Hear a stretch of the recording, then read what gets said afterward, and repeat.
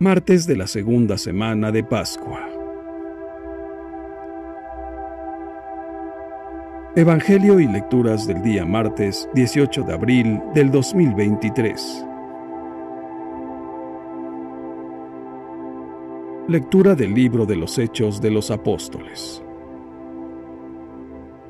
La multitud de los que habían creído tenía un solo corazón y una sola alma. Todo lo poseían en común y nadie consideraba suyo nada de lo que tenía. Con grandes muestras de poder, los apóstoles daban testimonio de la resurrección del Señor Jesús y todos gozaban de gran estimación entre el pueblo. Ninguno pasaba necesidad, pues los que poseían terrenos o casas los vendían, llevaban el dinero y lo ponían a disposición de los apóstoles, y luego se distribuía según lo que necesitaba cada uno. José, levita nacido en Chipre, a quien los apóstoles llamaban Bernabé, que significa hábil para exhortar, tenía un campo, lo vendió y puso el dinero a disposición de los apóstoles. Palabra de Dios.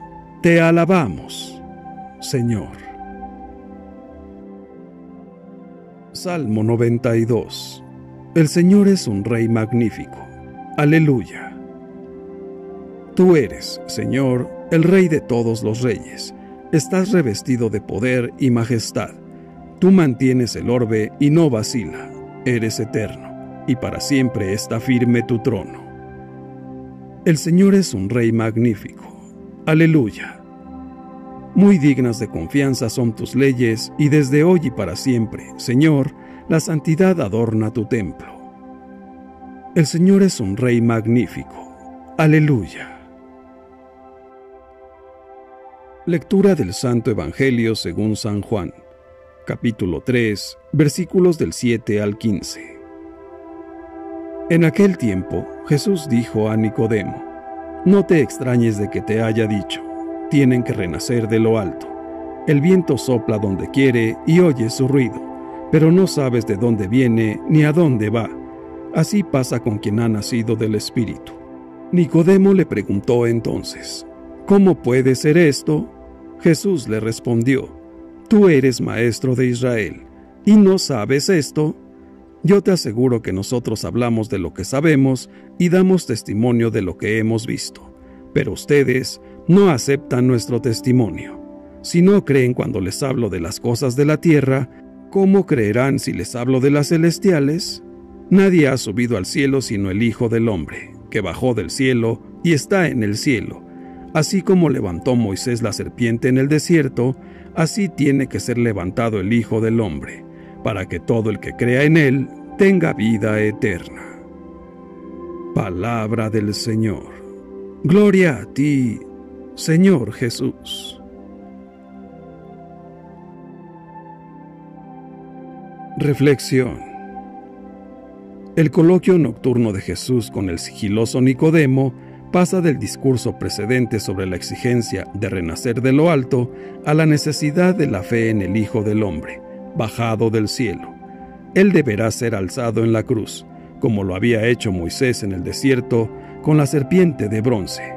Frente a Jesús, testigo y revelador del Padre por excelencia, no podemos jamás permanecer neutrales. Solo así como auténticos creyentes, renacidos a una nueva existencia en Cristo, llegaremos a alcanzar la tan anhelada vida eterna. Jesús deseaba mostrar a Nicodemo que era un testimonio fiel de las cosas celestes. Él es Dios y conoce mejor que otro nuestras íntimas inspiraciones. Así que, dado que se dirigía a un doctor de la ley, Jesús recuerda el episodio de la serpiente de bronce. Durante un largo camino, de Egipto a la tierra prometida, los hebreos se rebelaron contra Dios y una calamidad debida a algunas serpientes les asusta y diezma la gente. El pueblo pide perdón y Dios ordena hacer una serpiente de bronce, alzarla sobre un asta y mirarla. Todos aquellos que hubiesen contemplado su mirada se habrían salvado. Tal episodio preanunció la redención del hombre, y Jesús se lo mostró a Nicodemo. Aquel que mira al Hijo del Hombre y cree en él tendrá la vida eterna. En cierto modo, también nosotros debemos proseguir nuestro camino en este mundo, siguiendo las huellas de Cristo, porque aquel que muestra la fe en Cristo con su conducta está destinado a ser visto por todos.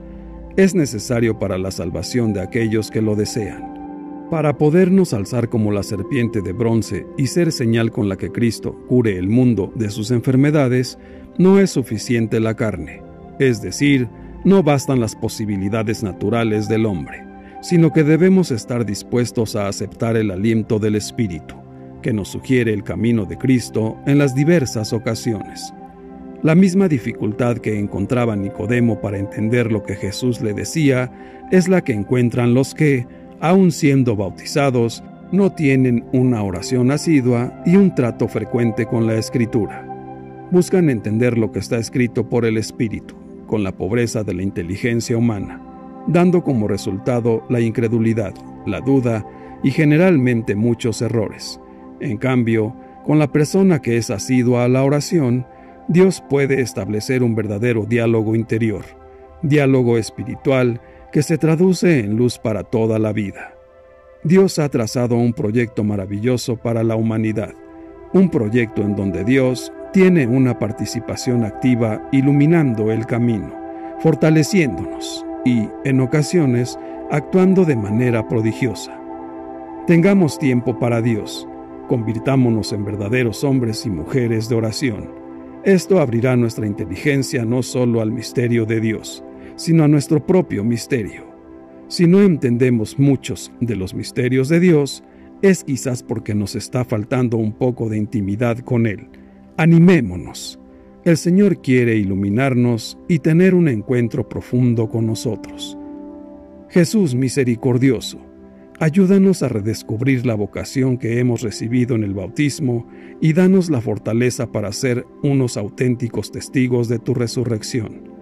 Espíritu Santo, llénanos del fuego de tu amor, porque solo podemos ser un instrumento de salvación para los demás si nos dejamos moldear por ti en la oración. Señor, ayúdanos a ser parte activa de tu cuerpo, de la iglesia, con nuestra oración y nuestro trabajo. Aumenta nuestro amor por la iglesia de la que somos parte, de tu mismo cuerpo. Santísima Virgen María, óyenos, Madre de la Santa Esperanza para que tu clemencia siempre nos asista. Que Dios nos bendiga a todos. Amén.